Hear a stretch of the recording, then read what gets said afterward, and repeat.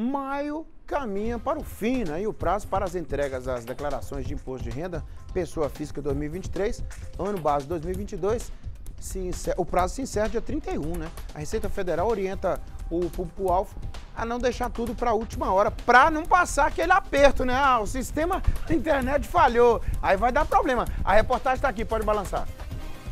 O Elcio é empresário e no escritório de contabilidade ele entregava alguns documentos para fazer a declaração do Imposto de Renda 2023, ano base 2022. Para ele, estar em dia com o leão é fugir de muitos problemas.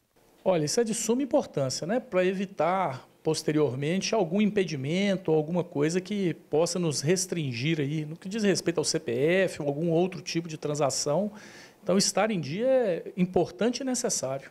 Faltam menos de 15 dias para o prazo da declaração chegar ao fim. Este contador destaca que algumas pessoas têm muitas dúvidas.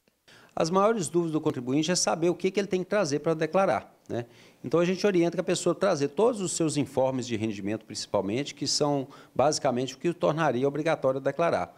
Aqui em Valadares e região também, a gente tem um fator novo aí, que é a questão da Samargo. Então, é, muita gente recebeu indenização. E essas indenizações também, na sua boa parte, é, são indenizatórias, mas também de caracteriza, caracterizaria né, é, rendimentos que a pessoa tornaria obrigada a declarar imposto de renda.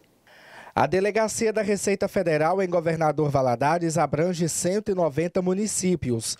Até o momento, de acordo com o órgão, foram recolhidas 235 mil declarações. 35 mil só na cidade. A auditora fiscal esclarece quem deve declarar o imposto de renda.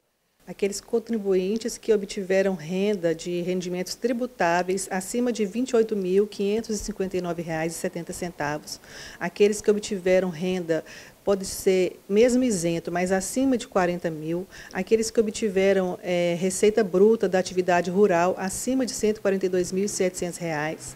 Também aquelas pessoas que fizeram operação de venda em bolsa de valores de ações acima de 40 mil. E tem várias situações. A lista completa está no site da Receita Federal.